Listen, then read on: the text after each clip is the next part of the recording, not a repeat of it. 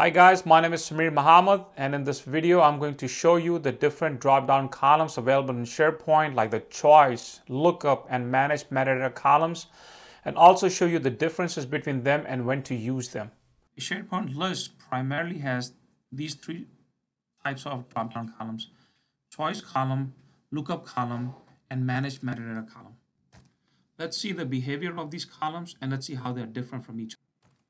So let's go ahead and take a look at how the choice column works. I have an employee list here and which has a first name and a last name. And I want to add another column over here which is going to be job title. And I want the user to select from the given list of the job titles in the dropdown. So let's go ahead and see how I can do that. Click on add column and click on more and this is going to take me to the page where I can create new columns. On this new column page, I'm going to select the job title and then choose choice as the type of the column. Scroll down and enter the list of choice values that you have. You have, you can also display these as drop-down menu, radio buttons or checkboxes. I choose drop-down menu. I can specify if there's going to be a fill-in choices as well, and also the default choice over here. If I don't want a default choice, I can just go and remove this finally hit on OK, and this is going to add it back, add it to the list of all the columns that I, list of the views that I have. Scroll down, hit on OK. I just had an error message. This should not happen in your case because in my case, the column existed from before. Hit on OK. It's going to take me back to my employee list. I can click on it and I can see that now I have a new column, which is the job titles. I can choose this value here click on the information icon up here. And then now when I go to job titles, I can see the list of drop down. These are the choices that I've entered. HR manager, uh, choose a different one, scroll down, job title, CEO, and this saves automatically. And let's remove this details pane over here. And now let's go back again to the column settings over here. Hit on edit and I can add more values over here. And uh, chief operating officer, hit on OK and you can see that this value now appears in the drop down here. So this is the most basic type of choice column and you can always go ahead and keep adding values to it. You just have to make sure that you do not remove values. If by mistake you have removed values, this drop down, then all the existing, all the historical values will just blank out. Now let's go, go ahead and take a look at the lookup columns. I have an employed list over here. In, in this employee list, I'm going to be making use of the lookup column. So I have the first name and last name as before, but this time it just so happens that there is a different list in my site, which is a job titles list, which already has a list of all the job profiles, all the job titles.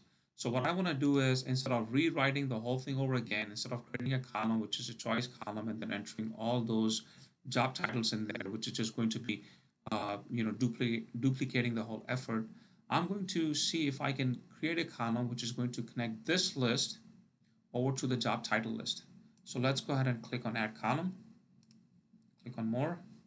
And this time, instead of a choice column, I'm going to select a lookup column the column name is going to be my job title.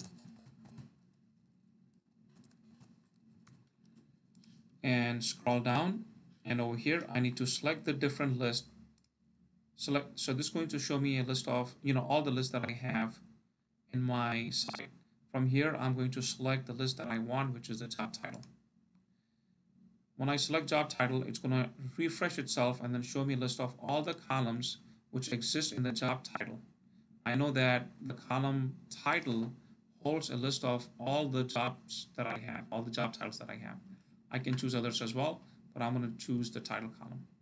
Scroll down, and this option enforces relationships, which means that if I choose this option, then any records which, if there are any records which exist in employee list which are associated with the job titles in the jobs list are ever deleted, are ever attempted to be deleted, SharePoint is not going to let that happen.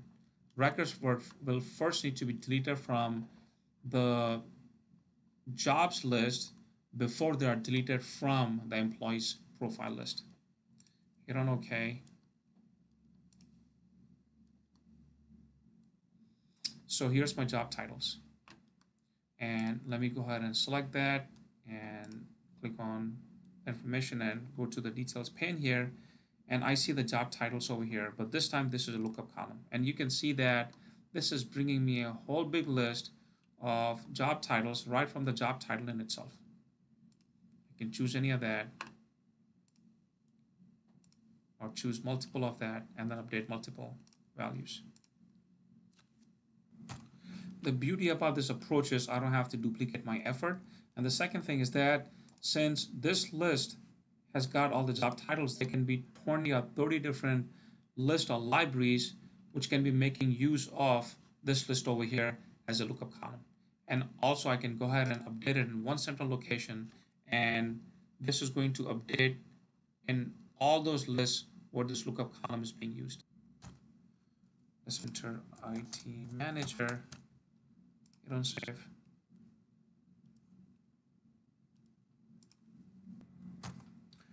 So I go back to my employee profiles list and then I choose any record. I just have to make sure that I refresh my page over here to see the new value for IT manager.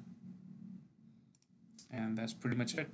I can have much better control this way. I can specify several different different types of permissions on job title so that only selected people can update the permissions of the job title list. Something that I cannot do in uh, in the last approach, which was using the choice column. Now let's go ahead and take a look at the manage metadata column. So this is a different type of column and it connects to the taxonomy. Term store refers to is a central repository in your Office 365 tenant where you can store and manage all your terms. So let's go ahead and add a new column here. But this time, instead of a choice or instead of lookup, I'm going to go down and select manage metadata. And as soon as I do this, so let me go ahead and enter, and this is going to be departments. All my departments are stored at a central location within my tenant, which is known as a taxonomy. And if you scroll down, this is where the taxonomy sits. This is where, you know, list of all the all the terms which are stored in your taxonomy are going to be visible. And when I select AQL, so this basically is the term store, and the term store has got all these different terms. And these terms are managed from the Office 365 tenant, and again, they are central to the whole of the tenant hit on OK. Okay, sorry. So select AQL and then select General Business Taxonomy and scroll all the way down and hit on OK. So I can select a column or select a row and then go in the details panel and then scroll down and select the departments. And this time I don't just see a straight drop down, but there's a place that I can search as well. And or I can just click on this icon over here which is going to load up the entire taxonomy or the entire term store. And you can see that there are several different levels of terms over here. And I can keep drilling down till what I want. So and then click on select and then pretty much just select any term in the taxonomy here and this is saved so the beauty about this approach also is I can just search through and there can be thousands and thousands of terms here which are centrally managed. This could be legal terms, it could be finance terms, or this could be pretty much anything. And instead of just browsing through all of that, I can just go ahead and search through all those terms and it's going to show me details about where that term is within that term store. Hit on OK and then just go ahead and select it. Thanks for watching. If you like this video, don't forget to click on the like button and subscribe to my channel. Also feel free to leave me a comment. Thank you.